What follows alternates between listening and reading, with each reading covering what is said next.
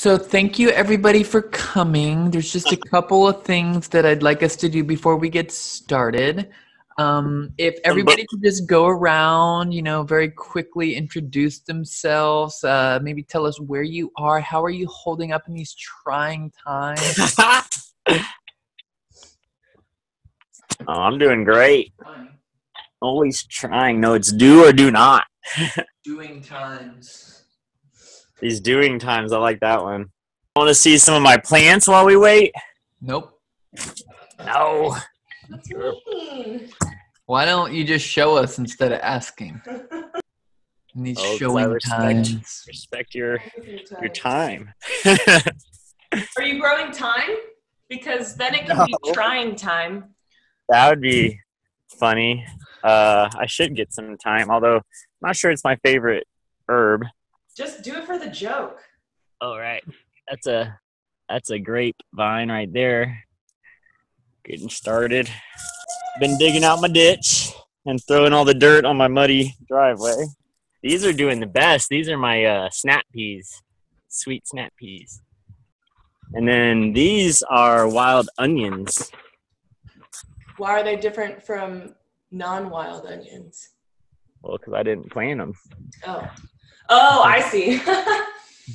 Wild. Came for free. Um, and wild onions should be pretty spicy. They are. I've been just picking them up and eating them.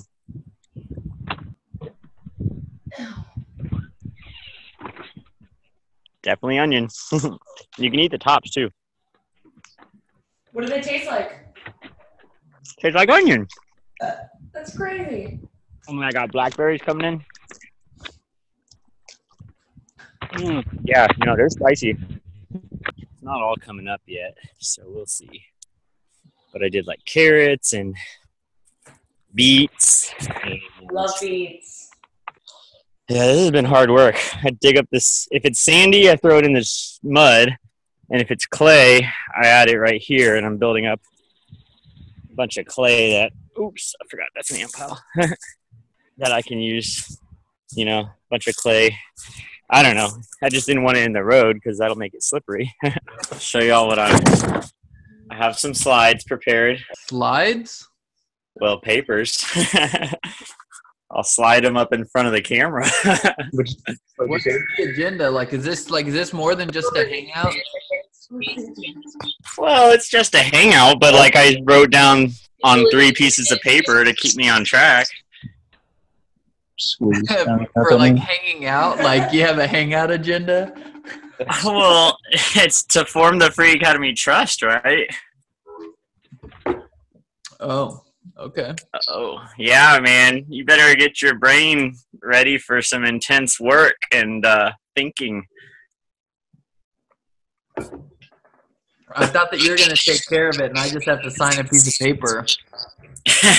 well, that is basically it. But you might want to know what you're getting yourself into.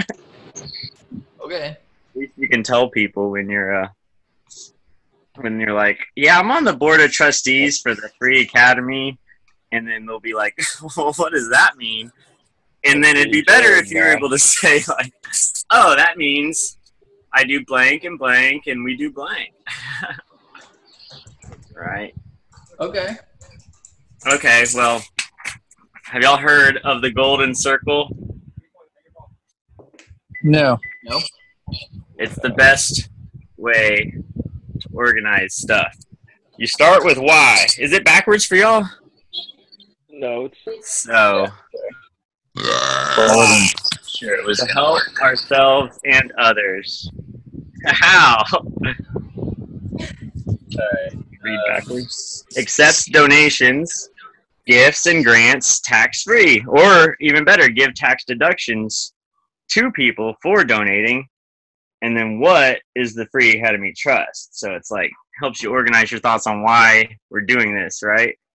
Because yeah, it's a lot of paperwork and bullshit to jump through these hurdles, but there's some serious benefits at the end of the road, and um, so I think it's worthwhile. And furthermore, I think you know if anyone can build a charitable organization and do good with donated money, it's us. You know, like first off, we're all fucking frugal, which means we can make money go much further than the average person or the average institution. So, you know, I think uh, we'll be able to leverage our efficiency with money to do way more events than an equivalent group could you know like most charities put on these expensive things and you know we could just go to a park and have a lesson or come out to my land or you know other places like that.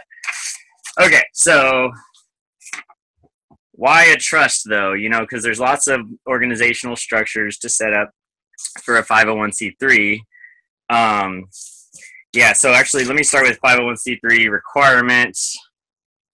And it has to be organized is one, and then operated exclusively for an exempt purpose. And luckily, in the 501c3, uh, you know, verbiage, education is listed as an exempt purpose. So the advancement of education or science totally counts. So um, that's why I came up with that mission statement or purpose thing that was like, you know, crafted around education. Well, first off, that's what the whole thing's for, but I feel like it's the easiest of the 501c3 requirements to fulfill. Um, only a couple, or one of the main things they worry about though is no lobbying or you know propaganda or like su- supporting particular parties. So we and like I especially would have to be careful to uh, avoid talking about government and shit. Like we just, I just have, we'd have to separate that part of our lives. Okay, so um, um, let me ask you. Yep. Um, would that include conversations that I have with uh, Mousebelt University students around blockchain and uh, like incidental mentions of um, no because i mean uh, that has for uh, restructuring governments um i don't think so unless it's like a free academy function or something because obviously people who run 501c3s have their own personal political views and they're allowed to vote and talk to people about you know it just can't be on a free academy website or a free academy like youtube video you know? Yeah. It's yeah. your own life. Yeah good. But i was only thinking like um i only asked it in that way because i was thinking that um like one like I like I have access to a whole to a whole group of um to a whole group of uh, qualified individuals to like receive to like receive the benefits of you know any donation that we may get. And so i'm so i'm just thinking that if i have conversations with them um that are sort of like grounded in their uh you know like um potential to receive um, yeah. benefits from from the trust. Right. So yeah uh, that kind of how like how careful do you have to be there to like to like not talk about um, government? Um i think so ultimately everything's settled in the court so it's not like they have exactly like you're allowed one mention of government or something but like my understanding when I read through it is they don't want a charity being used as a lobbying group. There's like specifically organizational structures like political action committees that if that's your goal, you want to donate to an organization that's going to lobby for change, then they want you to go through those routes and not try to use a 501c3 for, you know, something that would better be classified as you know a political action committee or some other organizational structure like that. So um, that does kind of lead me into potential roles because uh, so far we've talked about being a trustee but that's not the only role we could have. So i'm imagining at least four. So trustees would be on the board of trustees and they'll actually make business decisions for the group. So that includes, you know, what to do with the money, like to put in a savings account or a CD or invest in a stock or to buy a piece of land. Um, those would be decisions made by the trustees, and it's a majority vote. I haven't looked up what happens if it's even, uh, we might have to write that in the bylaws. You know, whether it takes more than fifty percent or just fifty percent can make a choice. Um, but yeah, so like for instance, opening a bank account that would be people that would be something the board of trustees would have to do. But it, if people don't want to be that, we can also have employees of this organization. Um, so yeah, as a as a trust, you're allowed to hire people to manage your operations. So like, let's say a tax accountant. Um, well, that would be a little different because that's not really an employee. That's one I I haven't read too much about, but I know it's an option. Um, and then we would just have volunteers. So volunteers wouldn't really have any authority to make decisions, and they also wouldn't have any risk. Um, but you can contribute time and help the organization, and you know that's that's you know what a volunteer is. And then uh, members. So I'm thinking it'd be smart for us to have, you know, um, okay, especially if we're going to get into things like, say, we get a boat donated, um, it'd be smart to have everyone sign up as a member, a free member of the organization before you know they get on the boat. That could just, I don't know, I could just see it helping some, and you know, maybe members buy tickets to come to events, you know, for the fundraisers, stuff like that. So that's another role I would imagine people having where they just want to come to an event and learn some stuff. Maybe they bring their kid or something, and you know, I'm picturing like barbecues with lessons, kind of. um, and so, yeah, members would be just like the member of a Falcon Point country club. You know, is they don't make decisions, but they pay and they use the facilities, that kind of thing. Okay, uh, oh, I think I skipped over why a trust though, because I said there's there's other forms of organization that would be qualified, and basically it's because it's the easiest and one of the oldest and like established ways of doing it, but it has the least requirements of the ones I could find. So like we could set up a nonprofit corporation, which is different than a trust um, but it has a lot more filing requirements and uh, and so yeah, it just seems harder. And I'm not sure the oh well, okay. There's only one extra benefit I could find from doing a corporation versus a trust, and that is um, something about like retaining the interest that accrues or something. So like as a trust, any money that you earn has to be paid has to be spent on the beneficiaries you know um, you can't just grow the interest in your bank account forever. But that's not to say you can't keep receiving donations and have your bank account go up.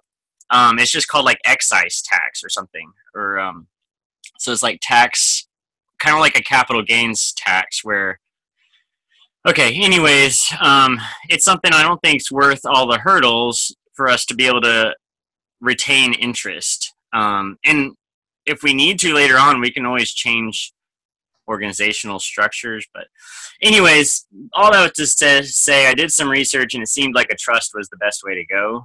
Um, but, you know, if y'all do research too, we could potentially change that. any any questions on that one? No. Nah. All right. Uh, okay. Fundraising. How are we gonna get money in this bitch?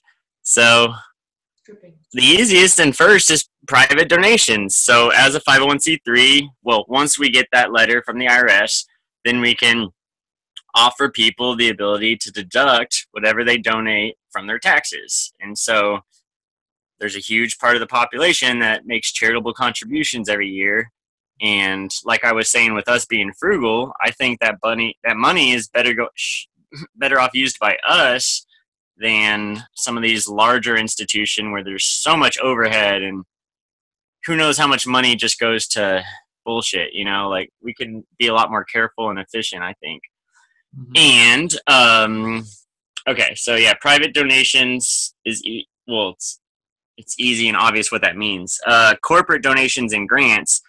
corporations give out money to 501c3s left and right, and all you have to do is apply, and you have a chance at getting it. And you know, we're all really good essay writers, I think. So, um, I mean, it's kind of like applying for scholarships, and I did that plenty. So, I think we can come up with some good essays on why corporations should give us their money. Okay, and then there's state and local governments and the federal government. So there's all kinds of money out there, and especially with the COVID stuff, like they're offering all kinds of grants right now, and uh, um, so that's kind of part of the reason I was excited to jump on this, you know, train quickly because we've talked about it for years, and uh, it was fine as like a kind of fake institution, but hey, if filing a few papers can let us be bigger and power more powerful and do stuff, uh, I say why not? You know, um, yeah, I believe in us. So, So, so, um, so yes. then let's let's just say that we end up getting a grant from the um, federal government because mhm. um, COVID stuff right right now. Um, what's the next step that we have to do after that? Like, what do we Yeah, do I think- grant money? I think our very first money should go to hiring a tax person. Oh yeah, that's that was number four down here is reporting. Um, first step, hire, or yeah, if we find a volunteer, that's even better. But say we get ten thousand dollars, I say that's our first step is hire a tax person, and um, What? then have them help us with all the filing requirements from then on out. Um, And then what? and then I mean, and then it's making prudent investments, basically. So, uh, it can be as simple as just leaving it in, in a bank account. And actually, if it's a zero interest checking account, that kind of makes it easier um, because we won't have any interest accruing. So there would be none of this worry about uh, making sure we pass out all the interest that accrues.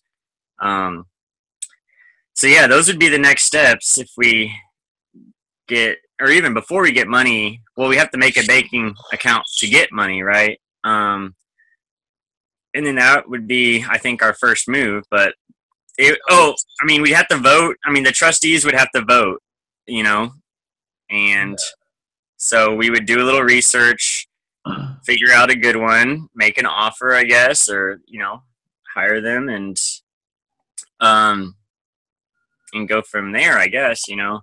So I have ideas on how we can spend money on assets and stuff and events, but um, yeah, I mean, why not hire someone to make sure we're crossing all our T's and dotting all our I's? You know, maybe even like a legal 501c3 consultant or something. Yeah. Um, yeah, because I mean, like, we can definitely use it to sort of fund uh, um, student travel to like blockchain conferences and stuff.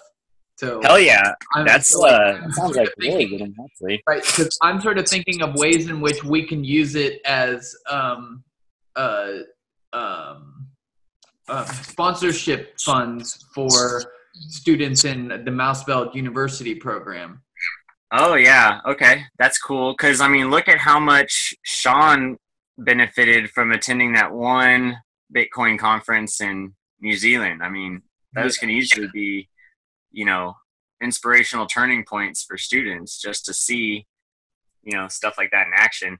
Oh, and actually, there's another one. This is kind of unrelated, but or kind of related, but uh, I can apply for a captain's license for free if I'm a volunteer for a truck or for a 501c3, and then people donate boats to 501c3s all the time.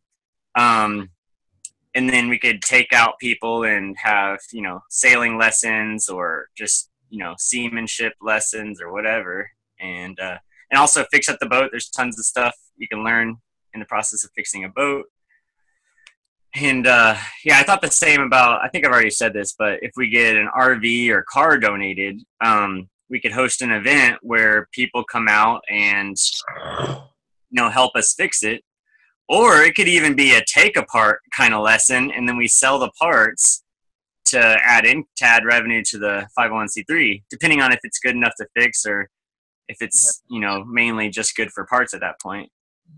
So, So, got what other sorts of benefits do we gain from it? Okay, yeah. So, I mean, one of the benefits is being able to, let's say you want to just use some property, then, like, I'm imagining we can have the trust own pieces of land, and then each of us will be able to use it, and the land is an investment uh, that we're hoping will grow for the trust fund. But in the meantime, we could all use that land without, you know, taxes or without any personal um, money at stake or whatever. So that's uh, one benefit. I mean, another is our resumes. I mean, how nice is it going to look to be on the board of trustees for a 501c3 charitable trust? You know, I think that sounds good.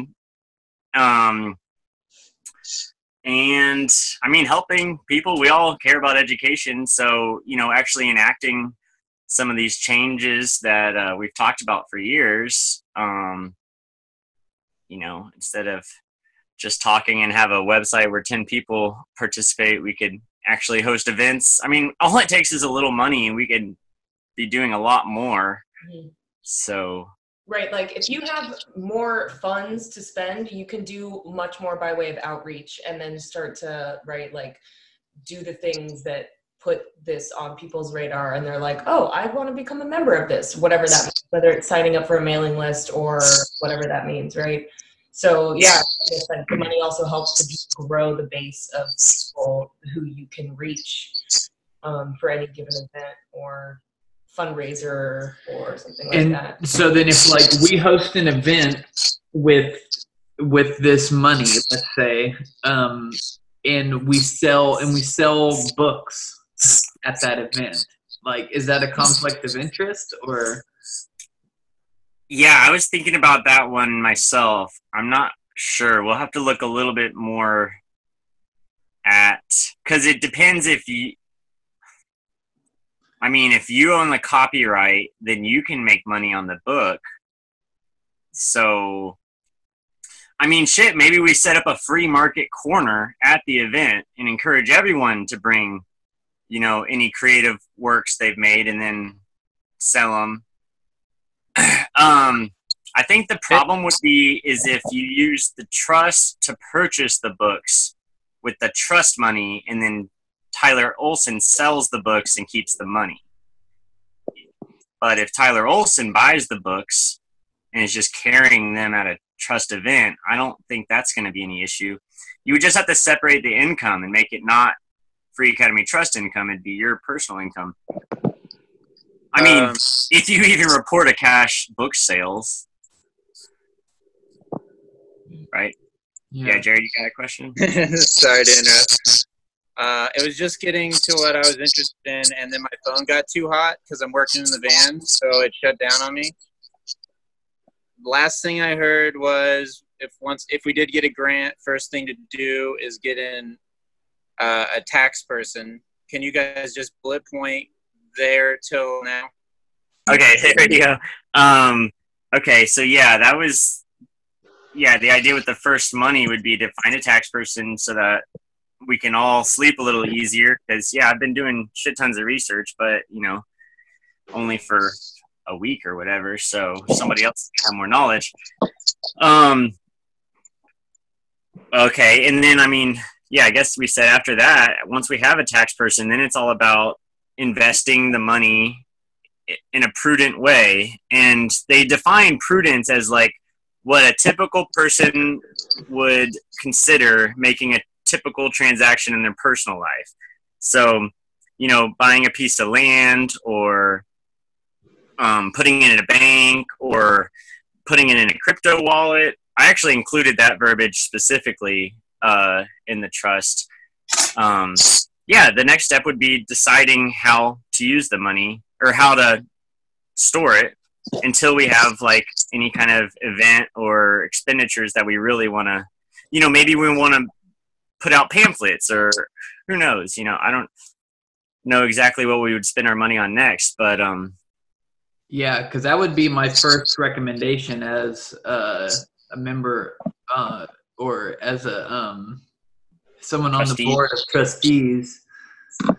Uh, is I would I would sort of recommend that we don't hold it in a traditional bank account.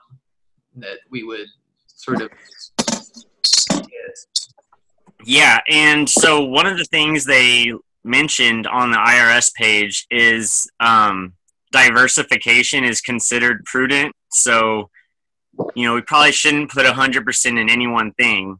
And what they want to see is you're, allo- you're allowed to make bad investment choices. They can't punish you just for losing money. You know, if you invest in a stock and it goes down, that doesn't mean that's not a breach of trust or like uh, negligence or whatever um, they just want to see that there was some discussion and then a vote. And what they don't want is yeah like let's say there's a tiny company billy bob's lawn mowing company and they don't want us to put all 100% of our assets into billy bob's lawn mowing company. So we just have to meet some minimum requirements of diversification and like prudence. Just i think an email amongst the trustees saying I think this would be a good idea for this reason. Do you all agree? You know, and then we'd have that recorded. So yeah, that's that's. I mean, the the requirements aren't that stiff, um, and really they don't even come out until there's a problem, right? It's Yeah. not like everything's published. So can um, so could we potentially let's just say that we uh, staked um, one third of it in uh, Tezos, one third of it in Bitcoin, and then like the other third either in the traditional bank account or in some other asset. Like let's just run with the hypothetical. Yeah, I mean that sounds good to me. Good. And then and then uh, could we not do anything with it for five years? Yeah. Um, that's where I was saying the the okay the part I'm not sure on because I know if the money grows, you have to pay excise tax. So I'm not sure how it counts with the crypto because I think it's only when you make a transaction. So I think if you leave it sitting in a wallet, then you wouldn't have to do anything. But maybe the day you sell it or trade it, then we might have to either pay the excise tax or B, more preferably, use that money on an event. Or it doesn't have to be events; it could be anything. Buying books to hand out, you know, to students, or we just have to spend the money on the beneficiaries Yeah. if there's a, if there's interest, like capital gains, basically. Yeah, yeah, and yeah, and that yeah, and So- that that's why. Hang on, I'm gonna mute y'all when you're not talking. Um, yeah, that seems yeah. That's why I was asking if uh, yeah, because it makes sense that we'd have to pay something like akin to you know a capital gain once we end up liquidating it into some other form where we could then use it to sponsor an event or something like that or make any kind of transaction even if you don't liquidate it for something else. But um, so that so that makes sense. But that's why i was wondering if um, if it mattered how long it sat in that wallet because um, even though we would end up having to pay something on it once we did something with it i just wanted to be sure that we didn't have to you know every year be proving that we're you know putting money that we have in the trust to some sort of event No, I'm pretty sure you're allowed to hold an asset in the trust as long as you want. Like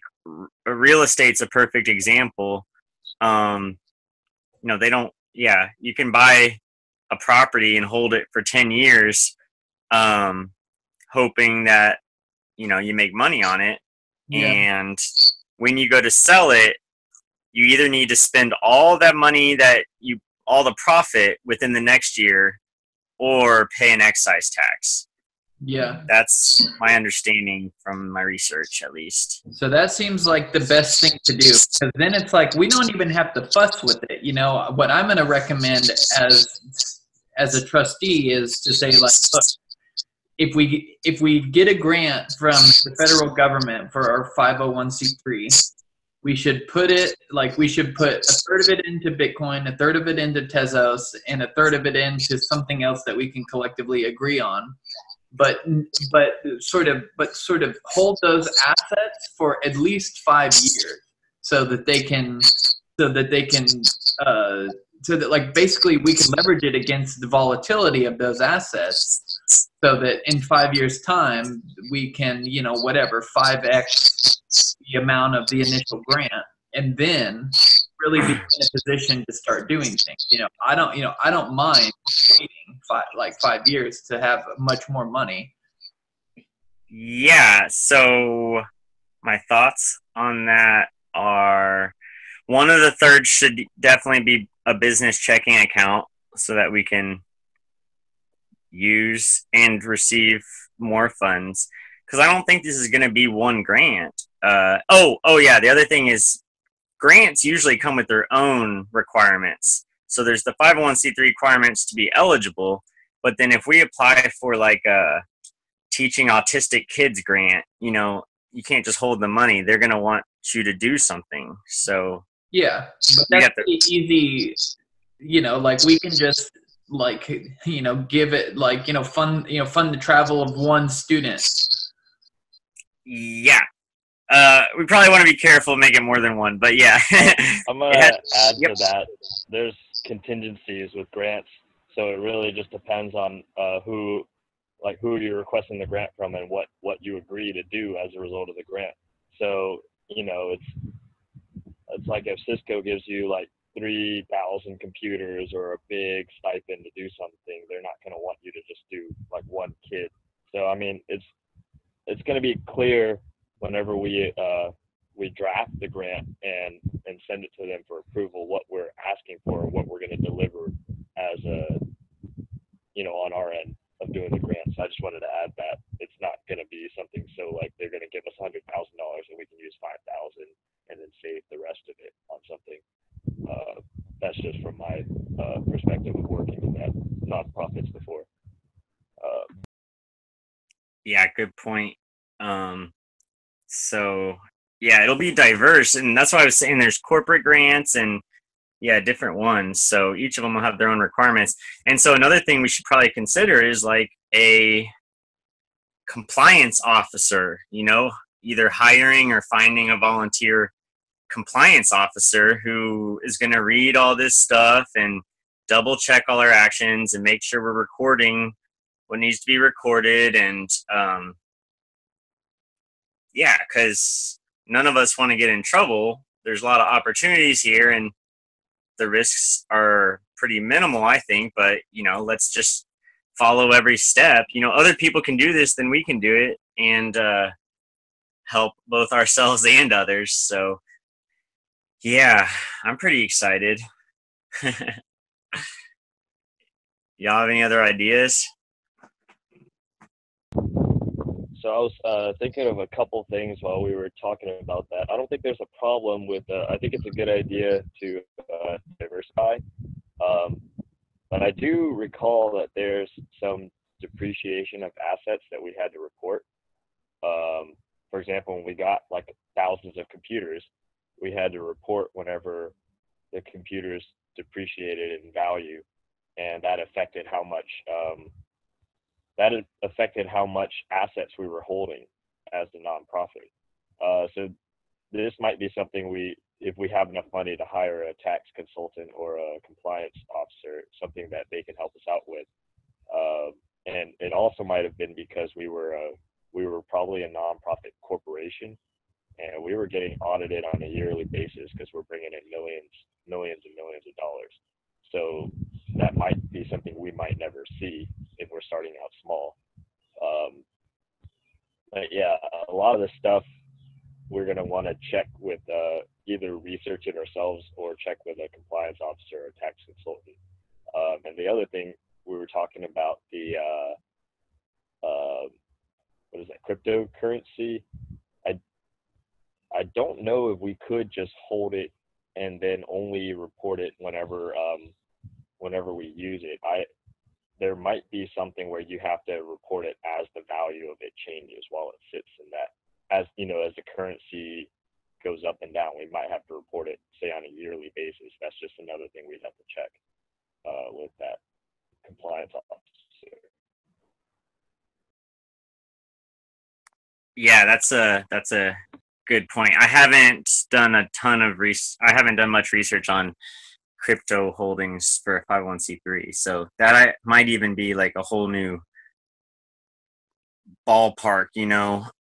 um, but actually, other options are to have a another organization basically hold our money and invest it for us. You know, that was in the rules. Is like you're allowed to what what do they call them? Like a custody or fiduciary. Like we can hire another firm to actually serve as our um, investing group. So I'm not sure if that's a good idea, but I know they said it's an option. Um, so, so I guess, um, I mean, have y'all?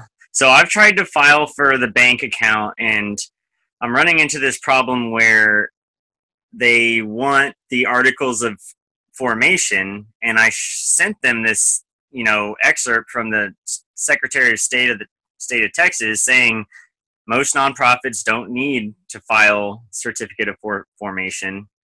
Um, but the bank was like, well, we only serve nonprofit corporations, which do have to file. So I'm trying to find a bank right now that will take us as an unincorporated nonprofit.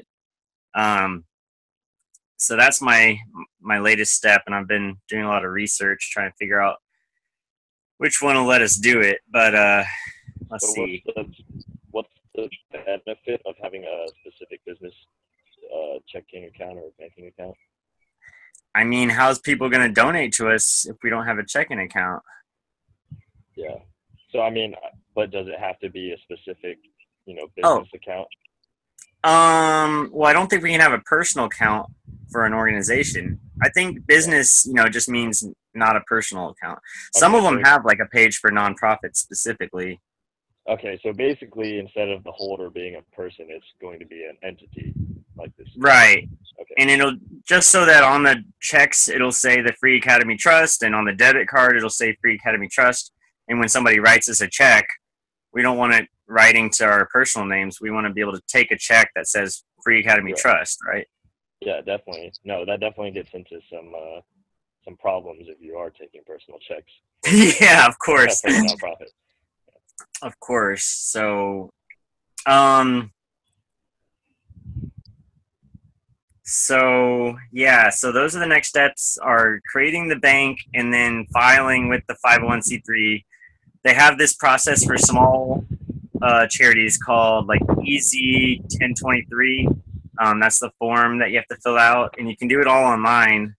Um, I guess I'll go through that today and see what you have to upload because I think that's where you're going to have to upload a signed declaration of trust. So I think that's when we'll really need signatures is to file for the 501c3 exemption.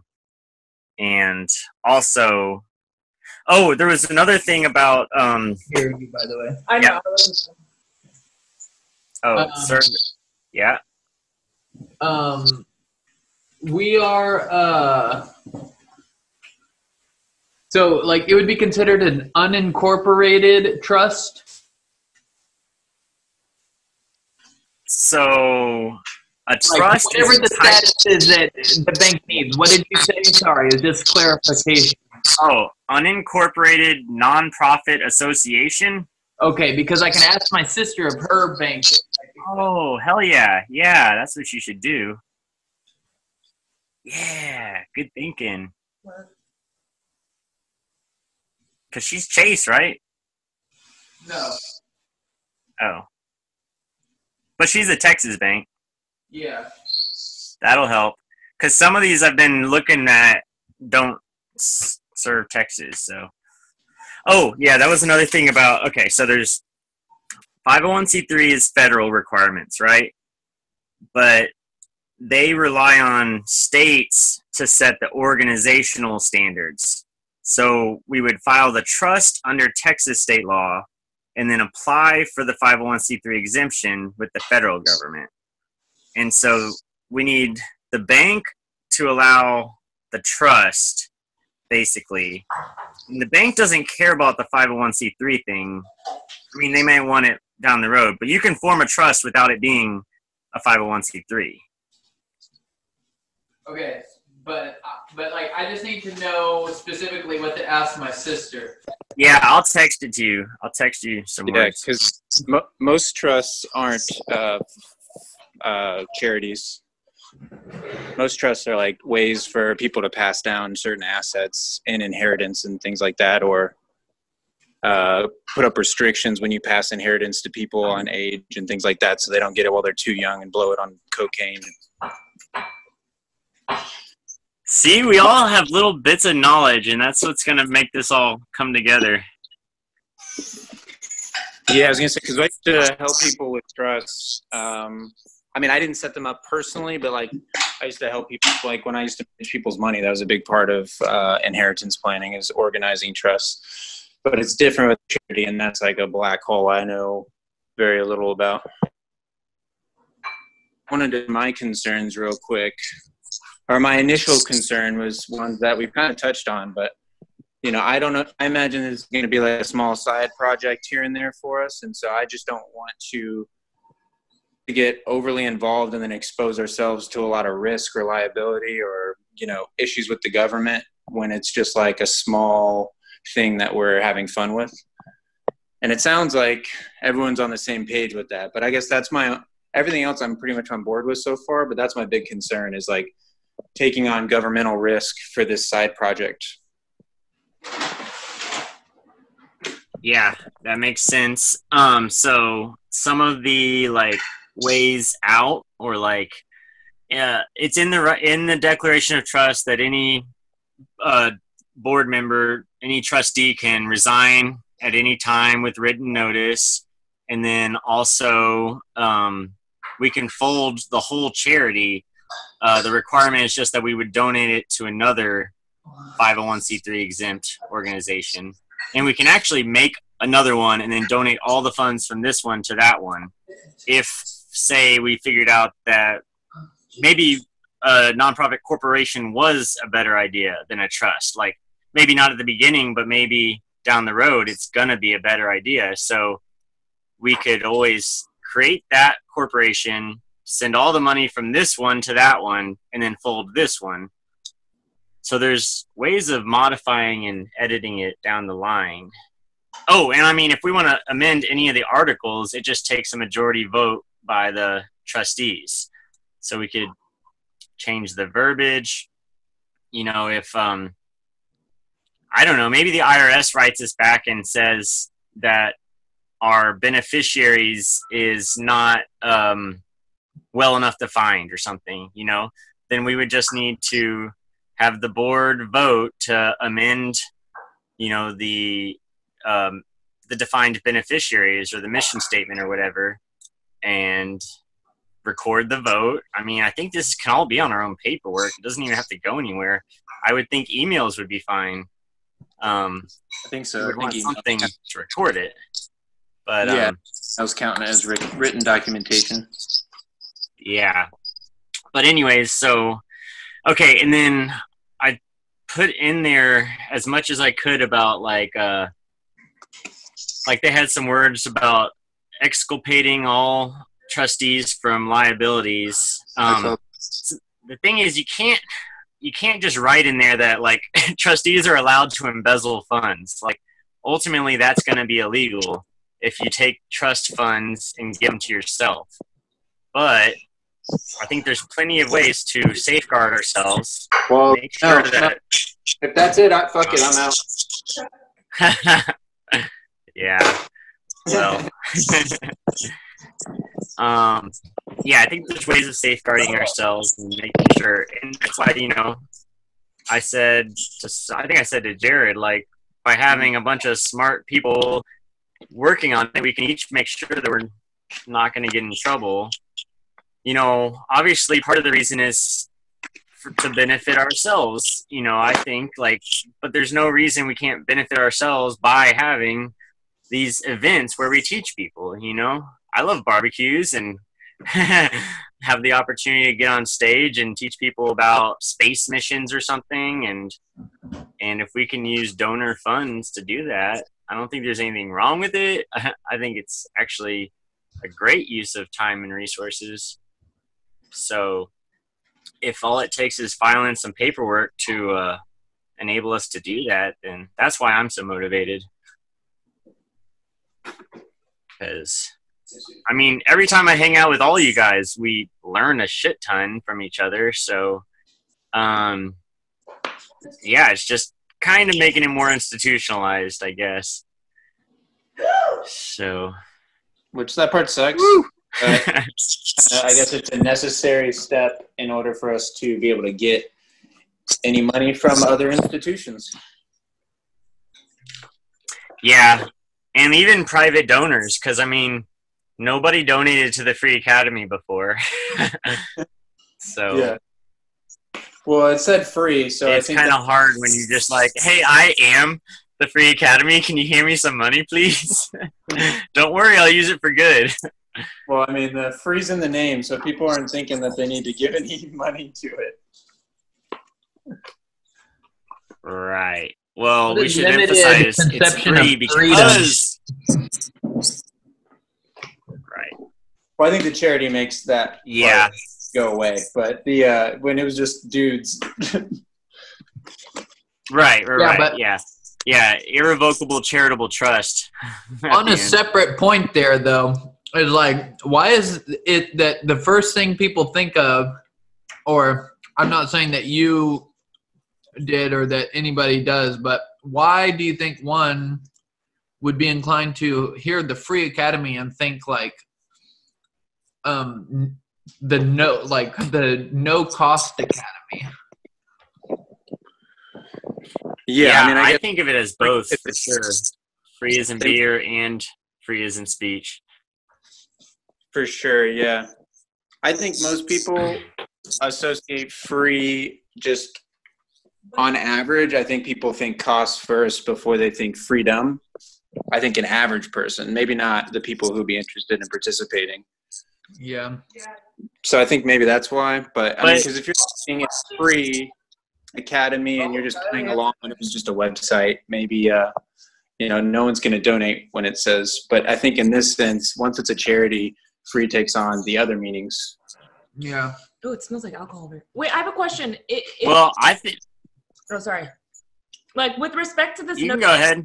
Of like free, free, like free in the context of like free speech that brings up a good point. I'm wondering that if it's the case that we accept like federal funds, does that limit or constrain the the the the extent of the freedom of speech? Right? You know what I'm saying? Like if you're if you're sort of entering into some sort of agreement by taking their money, does this mean okay? Well, this now you are not allowed to talk about.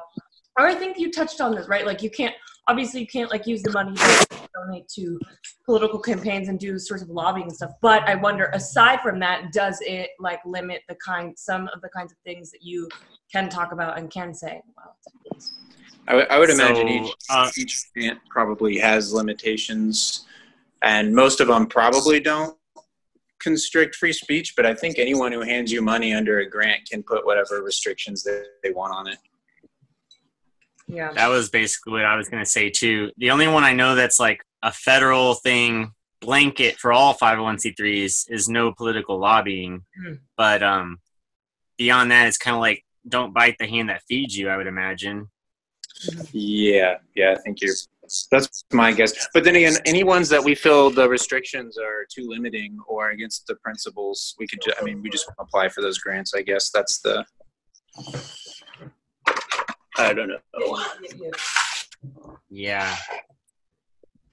No, yeah, I think that's my understand. And then yeah, like so obviously they can't um restrict us from having opinions. So I think the key would be like if you're speaking on behalf of the free academy, like if the board of trustees comes up with a memo that we're going to send to all the members, we're going to need to be more careful than if you're just speaking about your own beliefs, you know?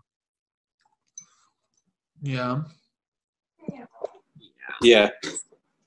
I get it. I get it. Um, So the motivate another question I had, which I think you might have answered, Mike, was like, um, and I think the answer was COVID. What what generated all this momentum right right now, this second? You think it's is it COVID and just the fact that they've there's a lot of Uh, grants? No, I mean, me and Cuong on the sailboat trip were talking a bunch about it, and um, you know, I don't know. Really, the question is, what's taking me so long? And it's probably laziness. I don't know. Uh, oh, but yeah, I mean, that's part of the motivation right now. Is there is a lot of opportunities, and I'm sitting here in my trailer. I don't have any uh, other people's work to do. I have videos to edit and books to work on, but uh, yeah, I mean, that's a lot of the motivation for me is I have time right now, and so why not? yeah, It's a good reason. Good reason. I was just Um, curious. No, yeah, I mean the So, uh, COVID thing. Yeah, go ahead. Glenn. I was I was just gonna say for my part on talking about it on the sailboat. I think when we were talking about it, I was telling you that I uh, I enjoy teaching and would do it for free. Uh, obviously, I can't do that when you know I need to pay for my bills and do certain things. Um, and so I'm going to choose the ones that pay me money over people that need it for free. But that's where a nonprofit could come in, where it allows me to teach and the, the people that might need it the most the ones that can't afford it they won't have to pay because that's being donated or uh, sponsored by corporations so personally that's where um, i kind of fell in on this uh, nonprofit spectrum where, where it can help me and help people that i want to help most rather than rich people that can afford it anyway Yeah, man, that sounds awesome. And actually, that brings up another thing we had talked about on the boat is like making a marketplace for private tutors to be able to meet and teach um, students, you know, and especially it, that could be where the word free really comes into play like free tutoring for the students um, paid for by donors. And so our tutors and our teachers do make money but it doesn't come from the students it comes from rich private donors who have more money than they know what to do with and so yeah it's a we can be that bridge from from the rich people who want a tax deduction to the kids who can't afford a tutor but who really want one or could benefit from one.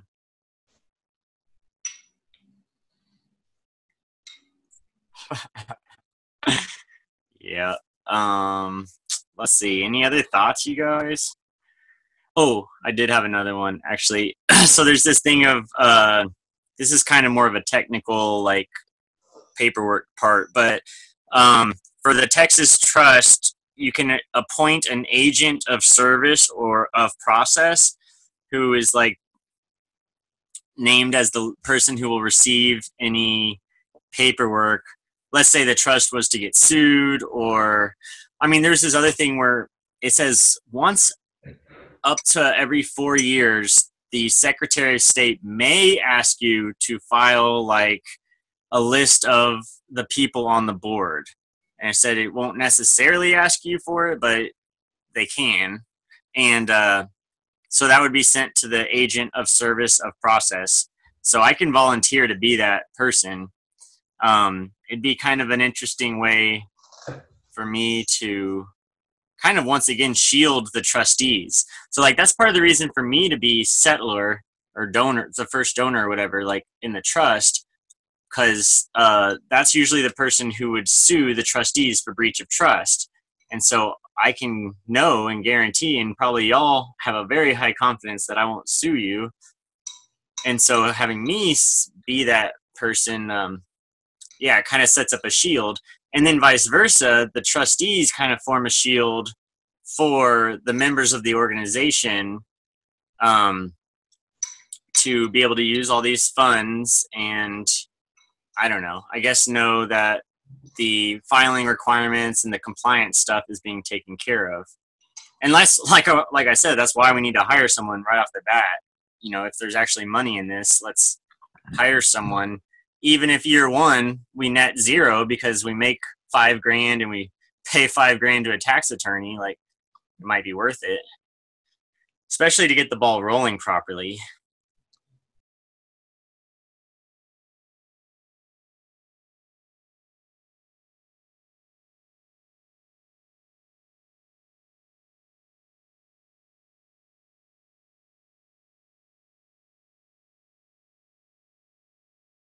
Better. That's better. Okay. Uh, what I was gonna say is, so part of uh, the goal of this would that be to do what you guys I think just mentioned, the idea of providing free tutoring or teaching to the students. Um, you know, but the tutors could be paid via the trust, right? Yeah, totally. I think that's an excellent. bigger than just tutors, but what if we structured like the beginning to get off the ground to ju- like to one justify funds, but also to provide you know instant, obvious value to people who participate. You could essentially one of the functions could just be providing free tutoring to people who need it in whatever subjects, and then the trust pays whatever tutors we have. Dude, yeah, I think that's a great money off of first step for us. Um, because it's it's quantifiable. You know, it's e- easy to measure. Shit, we could even have the kids sign something, or like the parent sign something saying, "I received X, so many hours of tutoring." You know, and then we'd have like you know if it works out if it works out we can ask for testimonials and stuff i mean but it'd be and i think it would be a very honest you know that'd be a very honest a way to give back. And um, you know and then we could that could be one function but we could have all the other functions we're talking about too like meetups and barbecues and open mics and whatever fun we want to have. But just the tutoring aspect might get give it off the ground and give us a legitimacy and also give all of us like you know that good feeling of sense of purpose or like that this is actually doing something and then the the less tangible uh, more abstract portions of the charity uh, you know we can kind of follow up with those secondary after we have this uh, maybe as like a starting point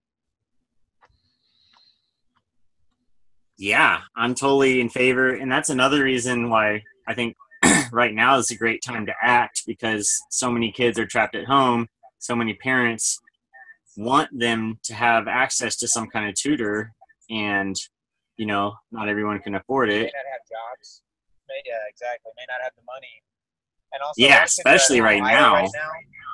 and the schoolwork well i think it's going to be for a while. So i mean i think Right. you're right. this is a good time. But uh, also a lot of kids they're not really doing much schoolwork per se because the grades can't matter that much. But hold on a sec i got an order from the director Yeah, that's no, I think that's uh, a great idea for like our first steps, and obviously we can do it. We can be the first tutors and be volunteers, and then uh, try to bring on other people. So that brings up employees, and I know you have to be careful with a 501c3 having employees. There's different filing requirements, so that would be one to uh, to really double check before we start paying anyone to work for the organization. I know it's legal and it's possible, but I know it adds some um, some more reporting requirements.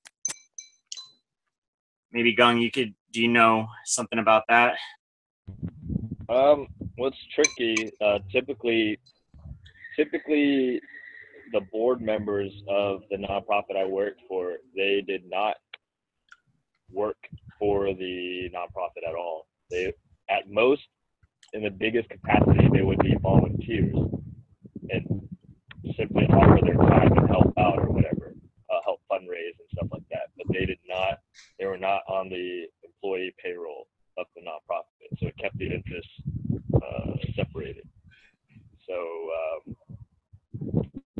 yeah, that's tricky for like, for example, for me, if I want to be on the board making decisions, and also if I want to be paid to do the tutoring, I don't know how we could separate that.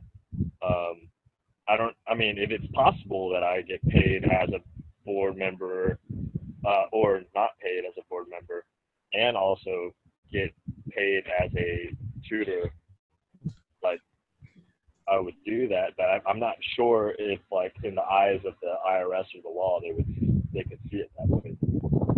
I think there would be a conflict of interest. That's pretty much my understanding too. Is you'd kind of you, you'd kind of have to pick one.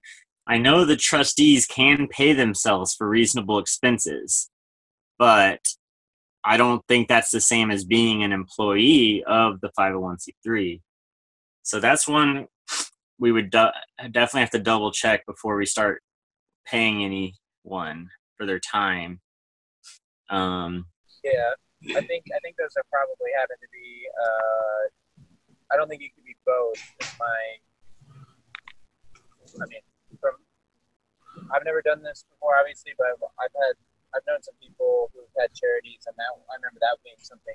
But they were able to pay themselves, I guess, a reasonable salary or something out of it. So you'd have to pick your. You can't get paid both ways, I guess and we wouldn't be able and there wouldn't be a reasonable salary for us to pull off of no funds or very little funds too.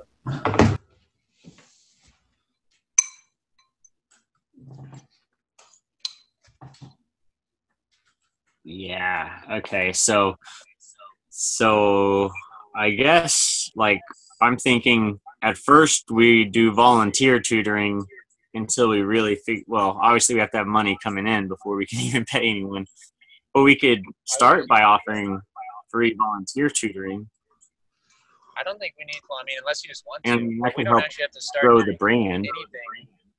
Um, I don't think we have to start doing anything until we get some money. Um,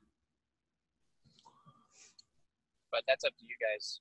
But I think we could easily hold back, apply for grants with the, you know, saying that that's the intent, or apply for grants where they're based on tutoring or that sort of thing, and then not actually do any or do much activity until we have the funds. But because we're not misappropriating any funds, Yeah. wasting time when we don't even have them yet. So. Right, right. I mean, yeah, this is definitely just formational kind of brainstorming. But I do think the idea of, uh, you know, free tutoring is a great um, starting place, you know, and uh, it kind of helps organize the ideas about. Because I know it sounds very wishy-washy when I say, "Oh, we'll have events and like bring people out and just teach them stuff," you know. So no, that makes it more precise and exact and well defined, and I think that'll help a lot with applying for all these trusts and exemptions and stuff.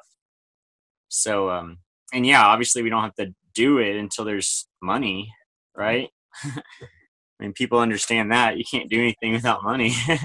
Yeah, the only plus side. Go ahead, Jared. All right, I'll I'll go ahead. Um, the only plus side of having something out, like say we do like a video, like a free tutoring video or something, or or a couple free ones, it would just to give people an idea of what they could get, and that that would maybe stir up some interest for some donors. And like, oh, I like this style of tutoring, and and I'd like to see that uh, be given to kids that need it or whatever. That's the only reason I would say to do it before we actually got money. yeah, that's great. And I mean, I definitely have educational videos from my history that I could uh, post. We have the Free Academy YouTube page still. I don't have a domain anymore, but we should get another one up and running soon. But yeah, I mean- probably because of the government restrictions that you brought up earlier, we probably we probably have to look through those free academy videos and filter, uh, like turn a lot of them private. Um, yeah, just a random thought. Like squatting in the woods. Yeah, like all the ones that may uh, may not represent our our uh, desire to get grants very well, and all the ones that might, you know, have negative government things, uh, given the restriction there. Mm-hmm. Yeah, like I was thinking of one I did where it was the size of the solar system to scale. You know, pretty, pretty uh, mild mannered.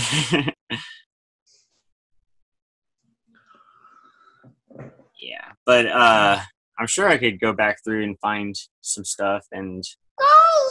Yeah, fucking Kylie doesn't even know shit about the Free Academy Live. Live? Yeah.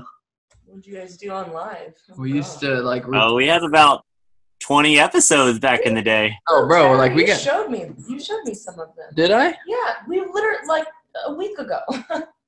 No. we sat there and watched it, and you, yeah, and you were like, "This is like from like fucking seven years ago or whatever." Which And you one? had all that hair. No, no, no, no. That isn't Free Academy Live. That was like that predates that. That was Michael's idea. He's like, let's send videos back and forth to each other. I'll ask you a question. Got it. That was kind of the kind of the start of it. It was the appetizer. Mm. yeah. The Yeah, Free exactly. Academy Live. Hey, I mean, we could get those rolling again. What? This is the one Jared was on back in the day, huh? Oh, here's the one with Matt Larry where y'all scared him Hey off. guys, uh, welcome to this is episode. No, he didn't scare him off. It's just like there's only so much shit you can take when you feel like you're being ganged up on. I believe we're super excited. Uh, eight, episode eight. Oh yeah, that's right. Uh, we're super excited to uh, have on uh, a new guest named Matt here that uh, we haven't had on before, and then we also got Daniel on with us as well. He's been on a few, and of course Michael Daniel. Cooling and Jared Reyes on here.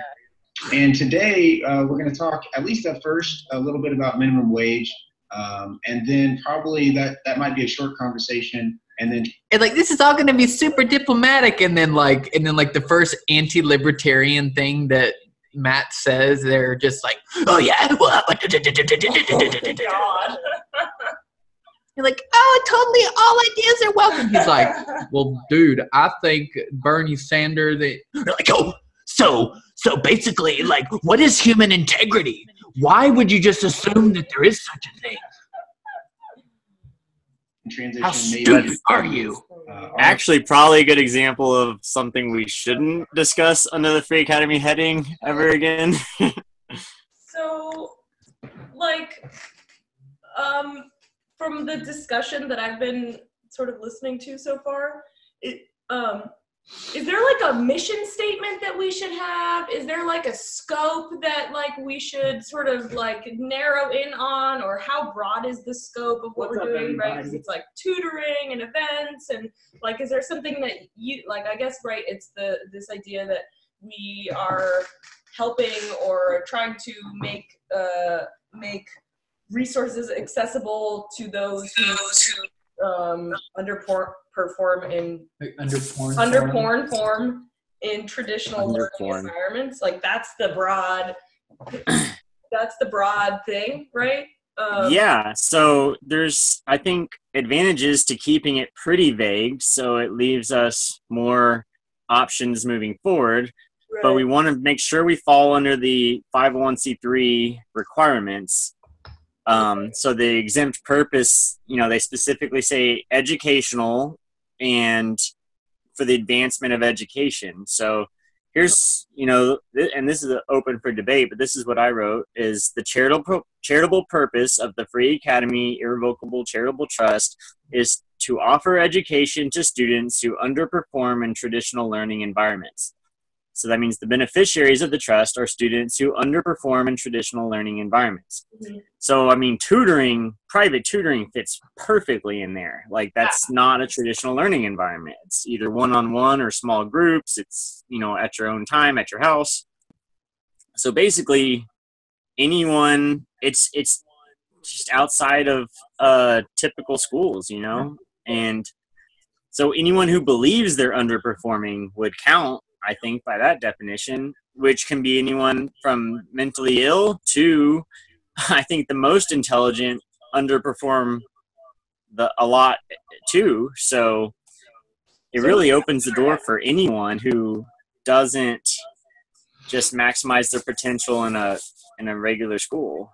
Yeah. What if we what if we broadened it to say those who underperform in traditional uh, learning environments or are looking to further their education outside of those institute traditional institutions or something. Something about not just for if you're struggling or you're uninterested, but also just for people who want to continue education outside of or fully focus on education outside of traditional courses.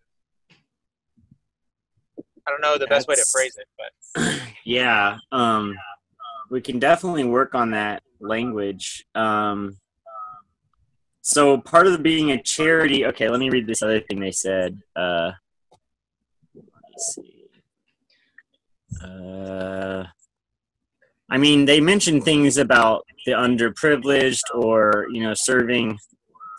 So that's why the underperform language is kind of like to make it about helping people that are worse off Yeah, what about But it was ambiguous enough. Underserved, right? People who are also underserved and like they just don't have the right kinds of resources to learn, and so underperform and underserved, right? So um, I think That's that a good one. broadens it. yeah. Um, yeah.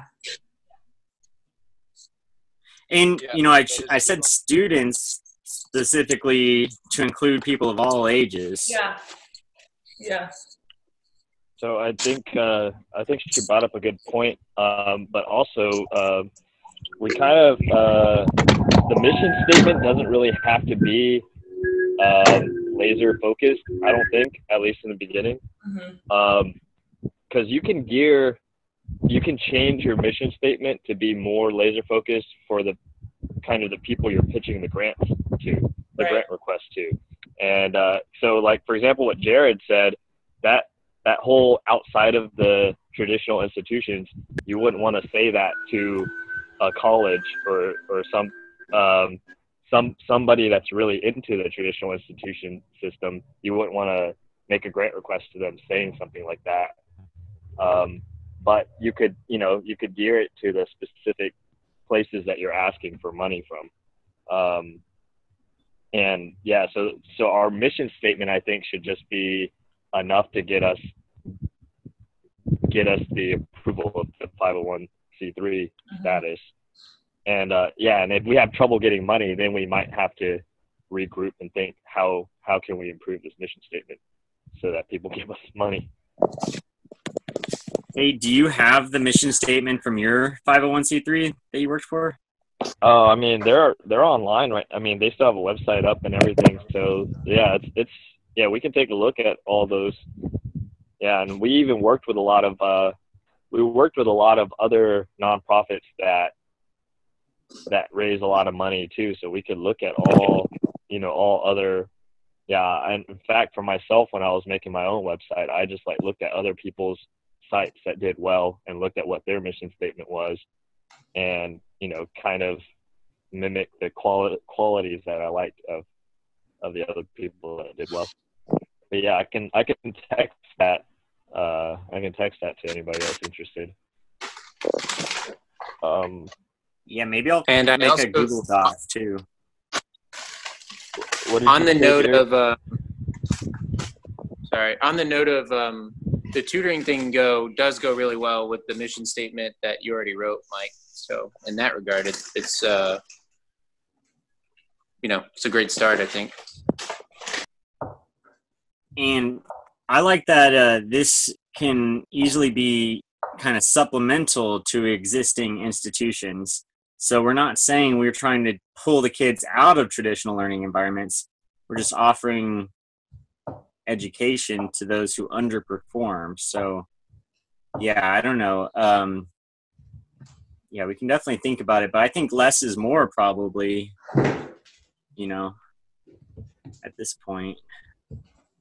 Oh, and uh, just so y'all know, this declaration of trust comes straight from the IRS website. There's a draft, you know, draft for it, and then I just changed a few things, added our purpose, and um, yeah, that's about it. But it's 98% like still the original.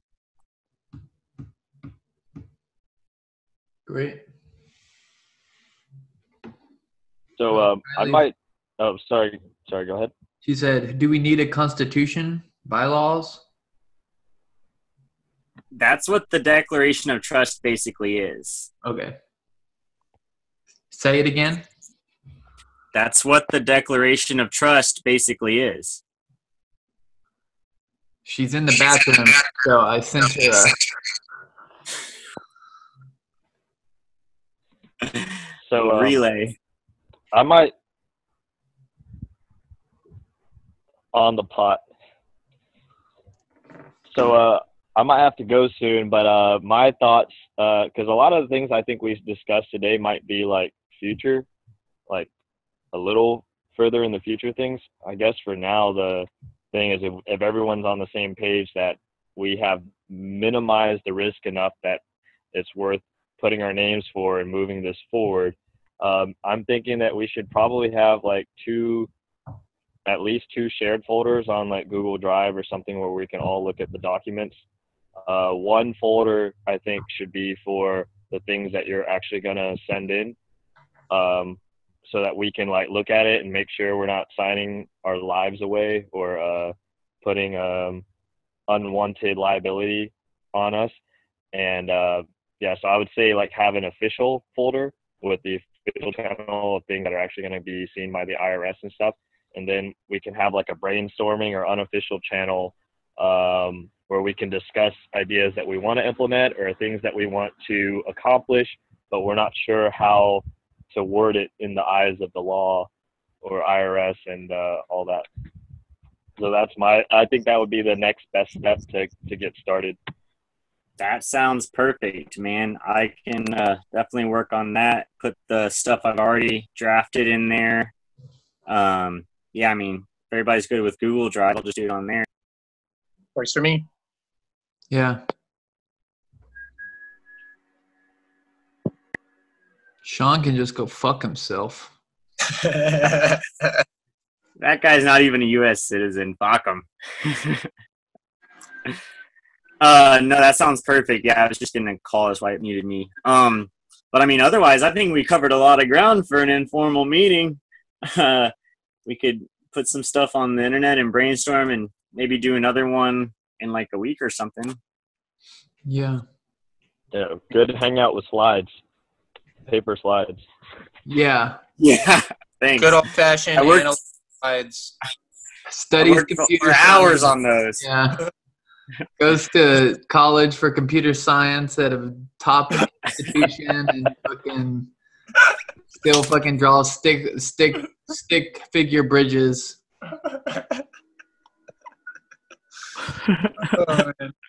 this is my homework. Yeah, good. It looks like about as much effort as you put into your homework. hey, I got all A's for a while. Um, but yeah, that sounds good to me. Well, cool guys. Thanks for participating, and uh, look forward to working with you guys, man. It's gonna be fun. Yep. I'm pretty Hopefully excited. not All too my, much of a headache.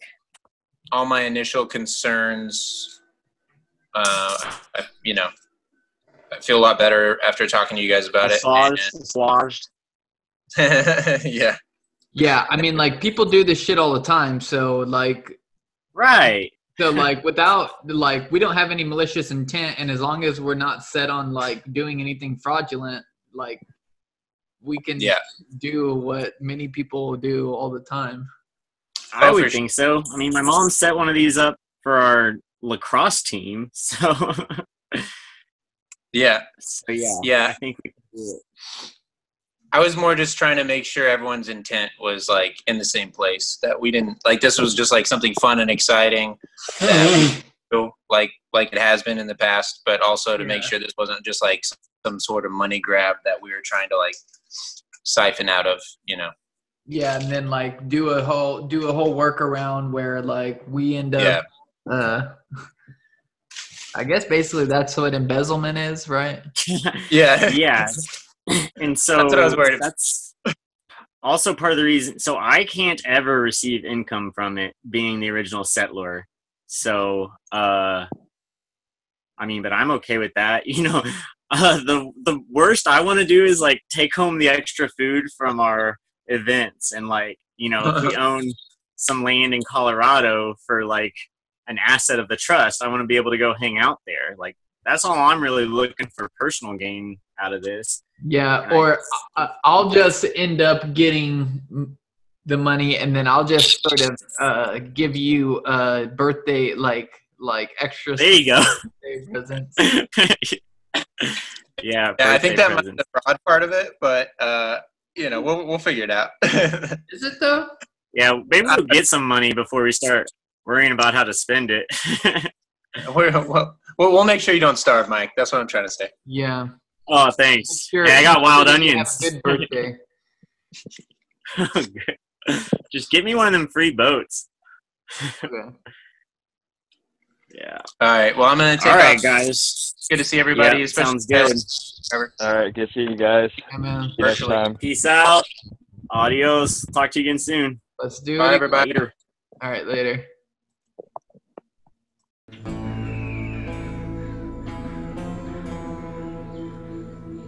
You're gonna get me in fucking trouble. You can't funnel and embezzle money. It says campaign, paid by the park. That's illegal. And it's my ass.